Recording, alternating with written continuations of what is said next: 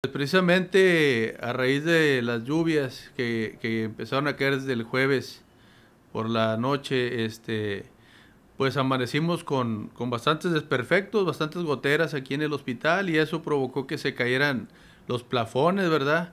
Este, muchas de esas goteras también están este, en, cayendo en, las lámparas, en la electricidad.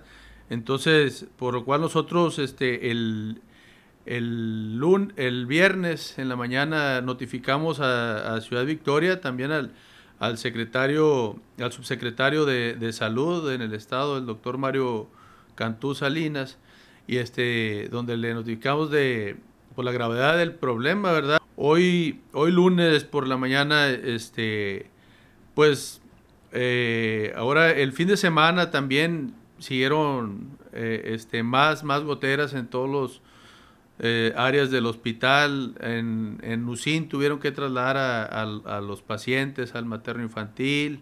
Este, eh, se están cayendo plafones en, todo el hospital, en hospitalización, en, en las camas. Ahorita hay, varios cuartos que pues no se les puede dar la atención ahí a los pacientes por lo mismo de que, de que sigue, sigue cayendo plafones, ¿verdad? Y este, precisamente nosotros... Eh, pues no somos técnicos, ¿verdad? Ni, ni estamos al 100 capacitados para, para ver el trabajo que vinieron a hacer una compañía externa eh, del hospital contratada por la Secretaría de Salud.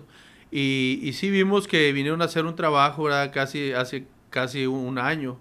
Entonces, este, que estuvimos en contingencia, impermeabilizaron, pero la impermeabilizada fue, fue muy leve, o sea, nosotros a simple vista vimos que, era como una pasadita, así una, una pintadita, y pues ahí están las consecuencias, es un pésimo trabajo el que hicieron este, la constructora esa que, que vino, no tengo el nombre, pero sí, este, pues ahí están las consecuencias de, de hacer un trabajo pésimo.